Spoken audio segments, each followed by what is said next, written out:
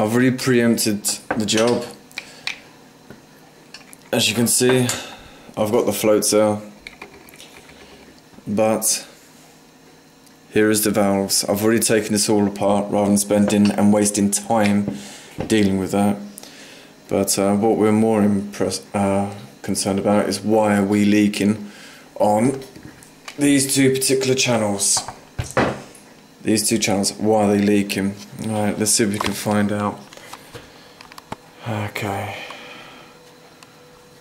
Don't know if you're going to be able to see much.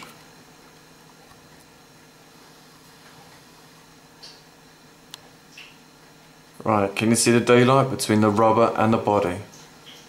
The daylight between the rubber and the body is where it's not mating properly.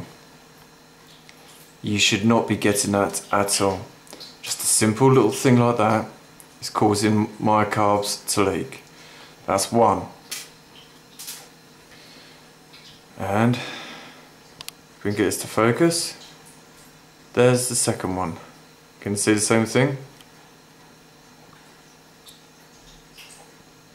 Oh, sorry about that.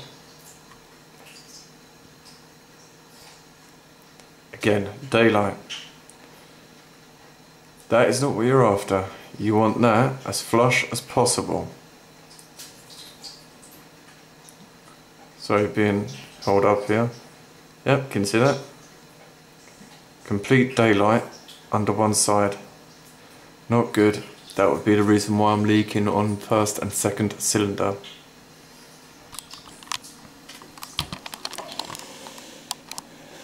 Alright.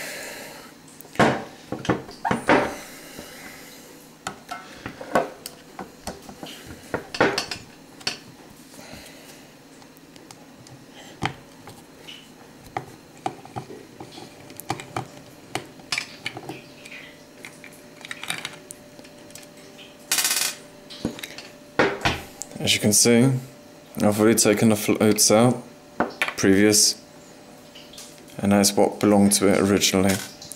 I'm going to order some new ones. I'll do a leak down test again after I've installed some, installed some new ones, which should appear sometime tomorrow. We'll soon find out.